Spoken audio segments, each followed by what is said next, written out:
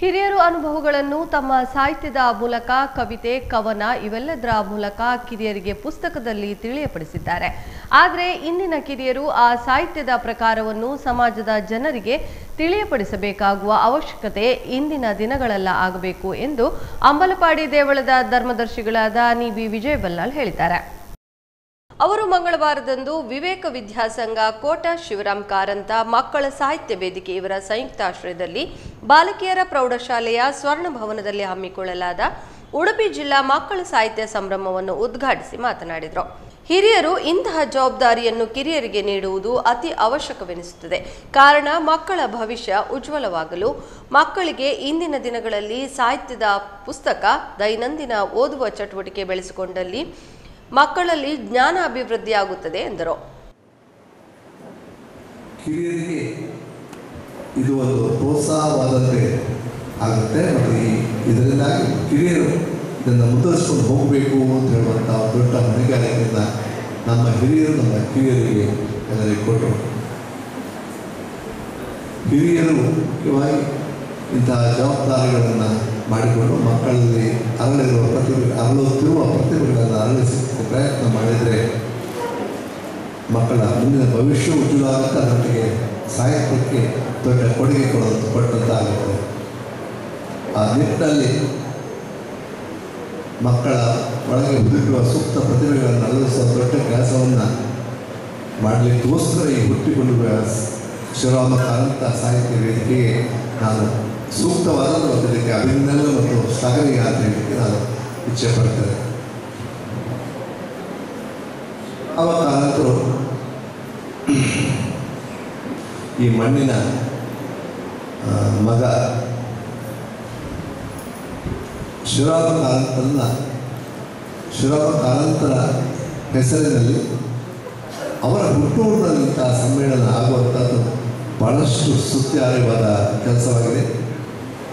ಮಕ್ಕಳಿಗೆ ಕಾಲಂತರ ಅಂದರೆ ಪ್ರೀತಿಯ ಅಚ್ಚ ತರಂಗದಲ್ಲಿ ಪ್ರತಿ ವಾರ ಪತ್ರಿಕೆಯಲ್ಲಿ, ಪ್ರತಿ ಸಲ ಮಕ್ಕಳು ಕೇಳಿದ ಎಲ್ಲ ಪ್ರಶ್ನೆಗಳಿಗೆ ಅವರು ಅಷ್ಟೇ ಮುತುವರ್ಜಿಯಿಂದ ಉತ್ತರ ಕೊಡ್ತಾ ಇದ್ದರು ಮಕ್ಕಳ ಪ್ರೀತಿಯನ್ನು ಅವರು ಕುತೂಹಲವನ್ನು ಅರಳಿಸಿದ್ರು ಮತ್ತು ಅದಕ್ಕೆ ಒಳ್ಳೆಯ ನೀರನ್ನು ಹಾಕಿದರು.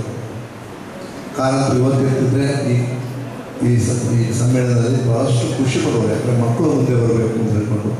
ಆದರೂ ಅವರ ನೆನಪಿನಂಥ ಒಳ್ಳೆಯ ಸಮ್ಮೇಳನವನ್ನು ಕೊಟ್ಟು ಮಕ್ಕಳಿಗೆ ಬಳಿಕ ಮಾತನಾಡಿದ ಕಿರಿಮಂಜೇಶ್ವರ ಸಂದೀಪನ್ ಆಂಗ್ಲ ಮಾಧ್ಯಮ ಪ್ರೌಢಶಾಲೆಯ ವಿದ್ಯಾರ್ಥಿ ಹಾಗೂ ಉಡುಪಿ ಜಿಲ್ಲಾ ಮಕ್ಕಳ ಸಾಹಿತ್ಯ ಸಂಭ್ರಮದ ಉದ್- ಉದ್ಘಾಟಕ ಕುಮಾರ ಪ್ರಥಮ್ ಮಾತನಾಡಿ, ಈ ಉದ್ಘಾಟನೆಯು ಧರ್ಮ ಧರ್ಮಗಳ ಸಂಯೋಗವೆನ್ನಬಹುದು. ಈ ಸಂದರ್ಭದಲ್ಲಿ ಕನ್ನಡ ಹಾಗೂ ಆಂಗ್ಲ ಮಾಧ್ಯಮ ಶಾಲೆಯ ವಿದ್ಯಾರ್ಥಿಗಳು ಸಾಹಿತ್ಯ ಬರಹಗಾರರನ್ನು, ಕವಿಗಳನ್ನು ನೆನಪಿಟ್ಟುಕೊಳ್ಳಬೇಕು ಹಾಗೂ ಕನ್ನಡವನ್ನು ಉಳಿಸಬೇಕು ಎಂದು ಅಭಿಪ್ರಾಯ ವ್ಯಕ್ತಪಡಿಸಿದರು.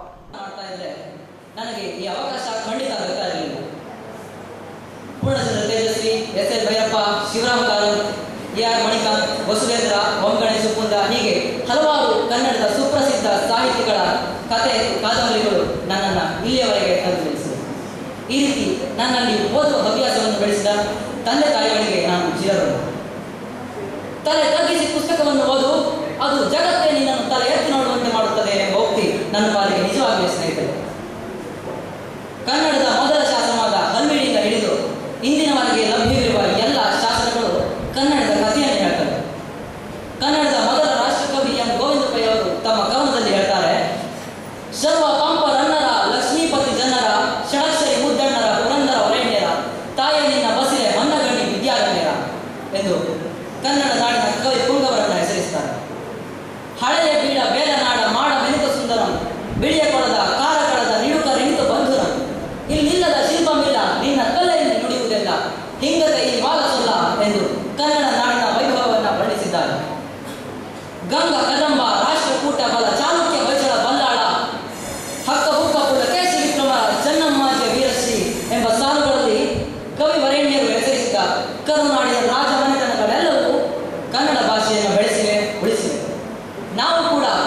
ಕನ್ನಡ ಭಾಷೆಯನ್ನು ಉಳಿಸಿ ಮತ್ತಷ್ಟು ಬೆಳೆಸಬೇಕು.